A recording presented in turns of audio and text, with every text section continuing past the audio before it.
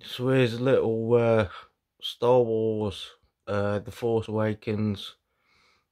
It's about to show you the 33, which combines uh, the Borg army uh, basically transferring from humanity to